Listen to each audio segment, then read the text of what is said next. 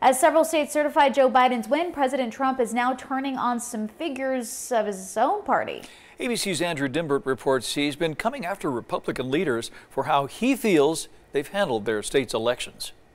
Phoning into a meeting in Arizona, a state Trump lost, he continued to promote conspiracy theories that the election was stolen from him. The 2020 election was rigged. It was a scam, and the whole world is watching, and they're laughing at our country. They're laughing at us. Trump has also been lashing out at his allies, turning his attacks on Republican Arizona Governor Doug Ducey, who he once endorsed.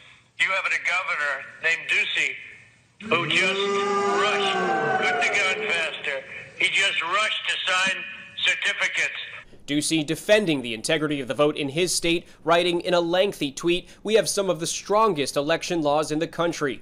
In Georgia, another state where Biden narrowly beat Trump, the president turning on state GOP leaders, blasting Governor Brian Kemp and Secretary of State Brad Raffensperger on Twitter as hapless and obstinate for not voiding legally cast ballots in the state.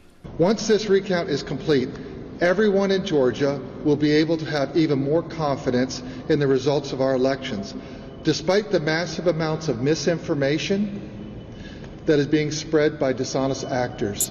All six states that Trump or his allies have legally contested have now been certified for President elect Joe Biden Arizona, Wisconsin, Georgia, Nevada, Pennsylvania, and Michigan. Georgia is gearing up for two Senate runoff races, but there's growing concern in GOP circles that Trump's claims of widespread voter fraud could discourage Republican turnout, thereby handing Democrats control of the Senate and the White House in 2021.